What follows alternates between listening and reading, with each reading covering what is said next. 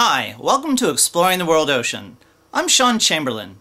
In today's series of lectures, we're going to talk about ocean physics. The physics of the ocean and the study of the physics of the ocean really forms the foundation of the study of oceanography. These are the kinds of studies that were carried out by the Challenger expedition and other early oceanographic expeditions. But in many ways, the physics of the ocean also touches on the chemistry and the biology of the ocean. If you recall, the physical environment of the ocean is what defines where organisms live or their habitats. So our study of ocean physics naturally takes us into a study of marine organisms as well. Let's have a look at what the study of physical oceanography involves. First of all, we'll take a look at how improvements in technology have enabled oceanographers to better understand the physical properties of the world ocean. Believe it or not, improvements in even something as simple as a thermometer have had vast and incredible impacts on the study of physical oceanography. How does knowledge of physical properties of the ocean help us understand ocean physics? And so the physical, the physical properties of water themselves has an impact in a, in a large and global way, and we'll take a look at that as well. We also want to act and ask, importantly, how does Earth's seasonal cycle affect the world ocean.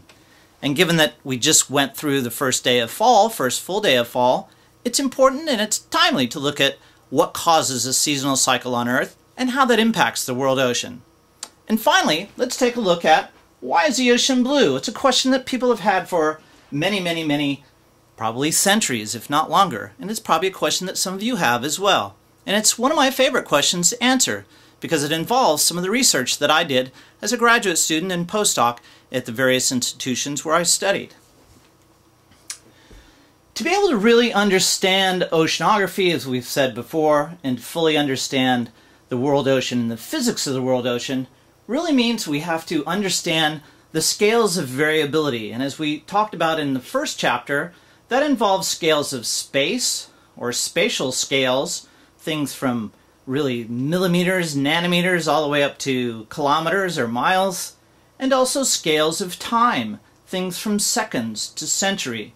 I'd recommend that you pull out the fold-out map on the uh, or study the figure on the inside front cover cover of your book, and it will give you some idea of the spatial and temporal variability that oceanographers are trying to understand in the world ocean. As it turns out, progress in understanding how the ocean works and the physical properties of the ocean has really involved progress towards increasing our spatial resolution of the ocean, in other words, measuring ocean properties in more places in the world ocean, and also increasing our ability to measure how things change through time. And it's a really good chance in this chapter to take a look at progress in oceanography over the last couple decades and see how improvements in technology have improved both our resolution on spatial scales as well as our re resolution over time. And we'll take a look at that. Well, most people think that measuring something as simple as the temperature is a relatively simple act. I'm sure many of you have had your temperature taken by a doctor or your mom when you were sick, and it seemed very simple. Either you had a thermometer put underneath your tongue, or maybe you had one of those new fancy infrared ones that stick in your ear. I don't think people measure temperature the way they used to, which is mm, not so comfortable. You know what I'm talking about. In any case, measuring the temperature of the ocean turned out not to be such a simple thing because to get a kind of measurement that's meaningful, in other words, a measurement that provides us with information that's important or information that tells us something about ocean processes, we need to be accurate within 0.01 degrees Celsius. That means then that a thermometer has to have enough little tick marks if you think of it in terms of a regular mercury thermometer, to give us a resolution so that we can tell the difference between 0.01 and 0.02. Our thermometer has to be that accurate in the ocean in order to give us meaningful data about how the ocean works as a physical system.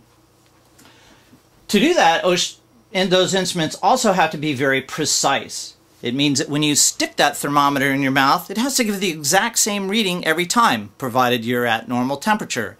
When we stick our thermometer or other instruments for measuring temperature in the ocean, they, we want them to give us the same answer every time. provided that the temperature hasn't changed. That's precision.